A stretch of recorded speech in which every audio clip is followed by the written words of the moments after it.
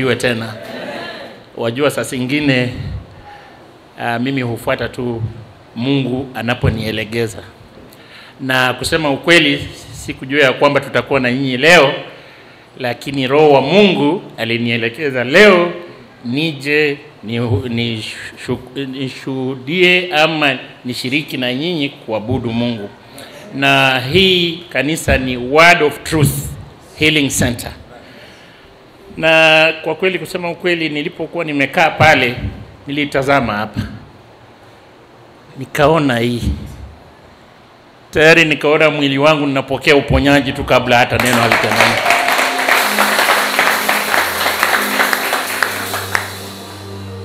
Nataka kuchukua fursa hii kumshukuru Mungu. Kwa umbali amenitoa.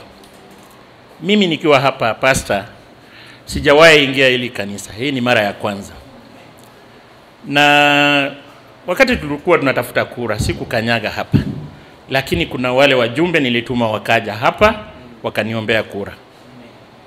Alikuwa Mheshimiwa John Mabonga na mwenzake. Wakati huo wa mbio tulikuwa tunakimbia kwa makanisa huku na huku. Sasa mimi wakati huo sikupata nafasi ya kuja hapa na nikatuma, na kusema ukweli, kupitia kwa maombi yenu na kura zenu Leo hii mimi ni MC wa Halaba, nimekuja kuwashukuru sana, nikisema asante sana. Mungu azidi kuwapatia nguvu, awapatie uhai na msipungukiwe tena kwa lolote lile. Kwa hivyo tukiamini Mungu, wenzangu wapendwa, he will never ever leave you or let you down.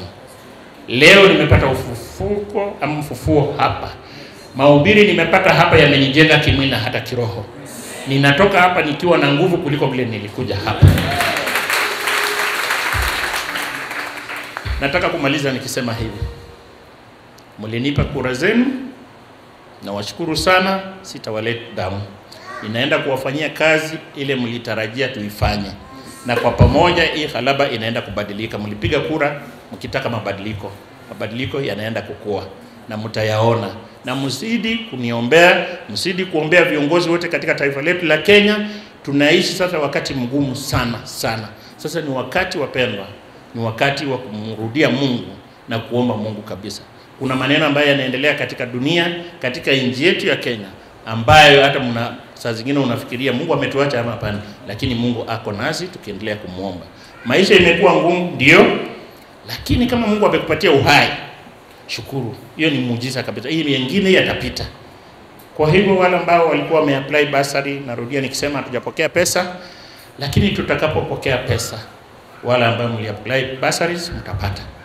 Na pia naomba wale ambao labda wanataka kujifunza mafunzo ya, eh, ya, ya kiufundi, tuko na chuo cha kiufundi hapa Mteremko. Sasa tuna admit watu, hata ukiwa labda unafikiria umri umeenda, lakini unajua kuandika na kusoma tunaokaribisha pale msome kosi za ufundi ya kushona nguo, electrical, ICT, eh, kutengeneza urembo, manywele, ujenzi wa nyumba. Tafadhali ukiwa na kijana msichana, watume waje huko, hata kama hata una pesa.